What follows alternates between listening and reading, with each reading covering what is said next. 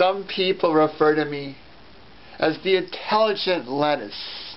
My videos are so fresh, new, and well, that's a little bit of an overstatement. But I think you all have probably gotten hate comments.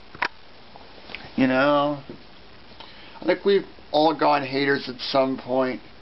But why talk about that, you know? You know, I could, I've blocked people before.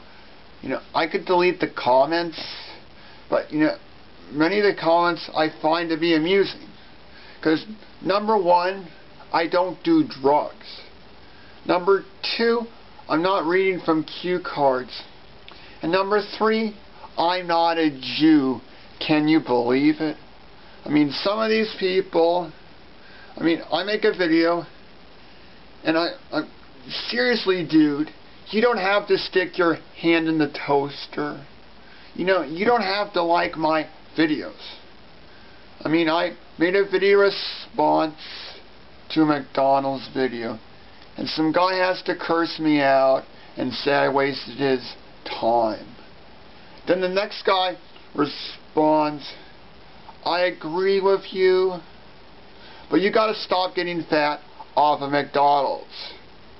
I'm like, brilliant.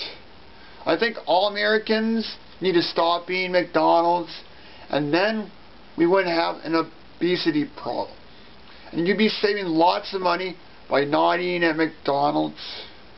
But, you know, that doesn't even pertain to the video.